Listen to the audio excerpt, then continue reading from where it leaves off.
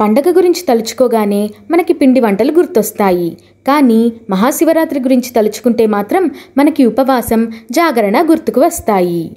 అన్ని పండగలకి భిన్నంగా మహాశివరాత్రి నాడు మనం ఉపవాసం జాగరణ చేస్తాము.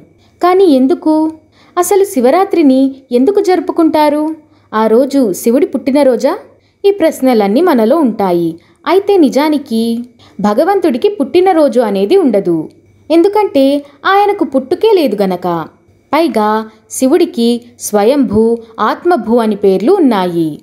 అంటే తనంతట తాను కలిగినవాడు కనుక ఆయనకు ఆ పేర్లు ఉన్నాయి. భగవంతుడు ఎప్పుడూ ఉంటాడు. ఆయనకి జనన మరణాలనేవి ఉండవు.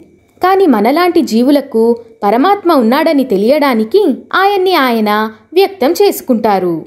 ఆ రకంగా పరమాత్మ తన ఉనికిని తాను తెలియజేసుకున్న రోజుని మనం మహాశివరాత్రిగా జరుపుకుంటాము. శివపురాణంలో మహాశివరాత్రి గురించి ఈ విధంగా చెప్పబడి ఉంది.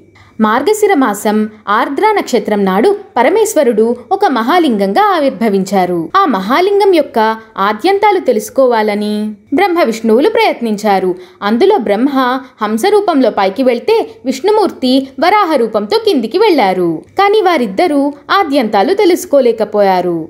అప్పుడు వారిద్దరూ పరమేశ్వరుడిని శరణు వేడగా ఆ పరమాత్మ వారికి వ్యక్తమై తన తత్వాన్ని తెలియజేశారు.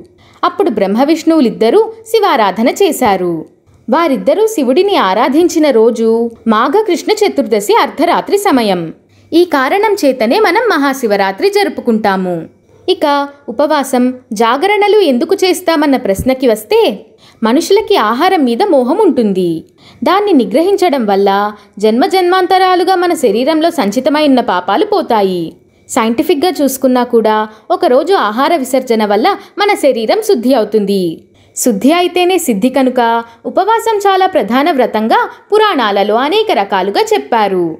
ఉపవాసం చేసి జాగరణ చేస్తే ఒక రోజుని నాలుగు గంటల చొప్పున విభజిస్తే అది ఆరు భాగాలై షట్కాల శివపూజ చేసే ఆస్కారం ఉంటుంది. ఆ విధంగా శివారాధన చేసినప్పుడు అర్ధరాత్రి సమయం కూడా పూజ చేయొచ్చు. ఈ జగతికంతటికీ విశ్రాంతి కల్పించి తాను విశ్రాంతి లేకుండా నిత్య జాగరూకుడై పరమేశ్వరుడు మనల్ని ఎప్పుడూ రక్షిస్తూ ఉంటారు. ఆయనకి నిద్ర మెలకువ ఉండవు. ఆయన జ్ఞానస్వరూపుడు. ఈరోజు ఆ జ్ఞానస్వరూపుడిని ఆరాధిస్తాం గనుక. జాగరణ వ్రతం చేసి అనేక పాపాలను పోగొట్టుకుంటాము. అందరికీ మహాశివరాత్రి శుభాకాంక్షలు. శ్రీరామరక్ష సర్వజగద్రక్ష.